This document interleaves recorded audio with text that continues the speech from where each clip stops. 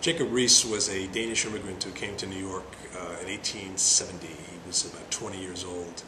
Uh, when he arrived in America, he was uh, poor, uh, didn't really know anybody, uh, but he did have a trade. He was a carpenter, he did know some English. Uh, and after drifting around for several years, he landed in the world of journalism. Um, and in the late 1870s, Riis became a police reporter. Reported on all kinds of uh, police activities in the city in the 1870s and 1880s.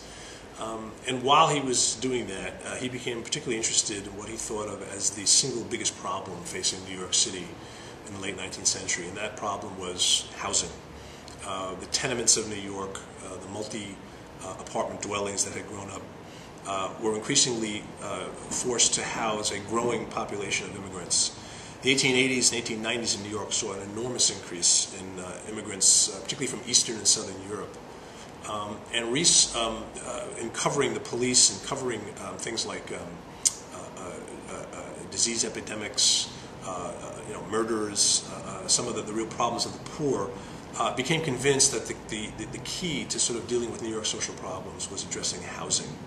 But he was frustrated by his inability uh, to communicate in words what he saw in some of the worst neighborhoods of lower Manhattan. Uh, in the late 1880s, Riis read about the invention of um, flash powder, magnesium powder. Um, in Germany, uh, some photographers had developed this, um, and what it meant was that you could now use artificial light to take pictures where previously you could not take pictures. Uh, so Riis taught himself the rudiments of uh, flash photography. And he began going around to some of the worst neighborhoods of, of Manhattan um, with a couple of uh, amateur photographer friends and also always accompanied by police. And he would literally burst into people's apartments at 2 o'clock in the morning, uh, shoot off a gun to light the flash powder, and create this artificial light uh, that allowed him to photograph um, the overcrowding, uh, the, uh, uh, the squalid conditions, just how bad tenement life had become in New York. Um, he took these pictures and then made what were called lantern slides out of them. And for a couple of years, in 1889, 1890, Riis traveled around the country, uh, speaking mostly to Christian uh, audiences, um, churches, temperance groups, and so on. Uh, and he gave a slide lecture that he called The Other Half, How It Lives and Dies in New York. Um, and these uh, uh, really uh, essentially vaudeville exhibitions featured Riis talking about the poor in New York showing these very, very uh, provocative photographs, sometimes with music. Um, he would tell jokes, take questions. It was really a kind of entertainment, and it was reviewed as such in the newspapers. Uh, but in 1890, uh, Riis converted this uh, slide lecture and adapted it into a book, probably his most famous work, uh, published in 1890, titled How the Other Half Lives, uh, which was the first book really to try to use photography uh, to illustrate social conditions of the day uh, How the Other Half Lives made a huge impact on people. Um, it became a sort of inspiration for a lot of folks who went into social reform. Um, it allowed Riis to quit his job as a newspaper reporter uh, and to become a full-time lecturer and writer.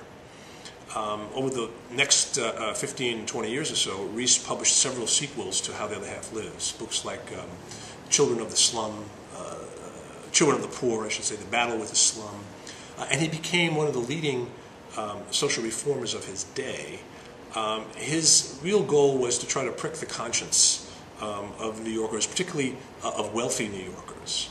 Um, Riis himself was not a radical, not even really much of a, of a, of a social reformer. Uh, he saw himself really as more of a publicist, somebody who was trying to call attention um, to the terrible conditions he saw in, in New York City. Um, and Riis's idea for how to solve the problem of overcrowding in tenement housing uh, was nothing like the kind of stuff that comes later in the 20th century. He wasn't talking about slum clearance. He wasn't talking about federal housing projects. He was talking rather about appealing to the conscience of Christian philanthropists. If only wealthy Christian gentlemen would put their money into building housing, if only they would take less of a profit, if only they would really try to bring a sense of Christian charity uh, to the housing of the poor, Riis thought that, that we could solve the problem. Now, he uh, became very well known. Uh, in 1902, he published his uh, own autobiography called The Making of an American, which was a bestseller. Uh, he became very good friends with Theodore Roosevelt, um, first governor of New York, later president of the United States. Um, and so Riis was really, in some ways, um, the first muckraker, the first investigative journalist, the first progressive era American who really tried to use the power of photography and publicity um, to arouse the conscience of the American public. But what's interesting to me, among other things, is that he only took photographs for a brief time. And when Riis died in 1914, he sent, his papers were sent to the Library of Congress, but not the photographs. And it wasn't until about 30 years later um, that the photographs were rediscovered. A big trunk full of uh, glass plate negatives found in the um, attic of the house where he lived. Um, and after World War II, Riis was sort of rediscovered. His reputation was revived. Um, and his photographs became a sensation. Uh, many people argue that Riis is really the, the beginning, the, sort of the ground zero um, for social documentary photography. Uh, that may be true, but it's interesting that the, the meaning of the photographs has changed over time. He never saw himself as an artist, never thought of himself as a professional photographer, and yet these photographs have, are among the most widely reproduced images in the history of the medium. Um, and so uh, Riis's photos today are often used to illustrate uh, urban poverty, used to illustrate the problems of the city. Um, and a lot of students today, particularly who read How the Other Half Lives and some of his other writings, are struck and often uh, um, sort of uh, uh, uh, shocked by the disjunction between the photographs, which are largely sympathetic, um, showing people in difficult situations, and the writing, which is full of the kind of racial and ethnic stereotyping that was common in the 1890s and early 1900s. so Riis is a, is a, contradictory figure. He's full of all kinds of, of, of internal contradictions. Uh, in some ways, he's a guy who looks back to the 19th century, uh, to sort of sentimental writing about the poor.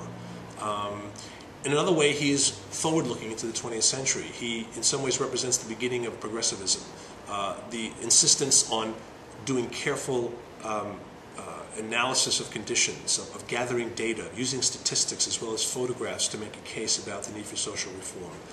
Um, so for all these reasons, Riis is, uh, I think, a fascinating character who brings together so many of the contradictions of the American Reform tradition.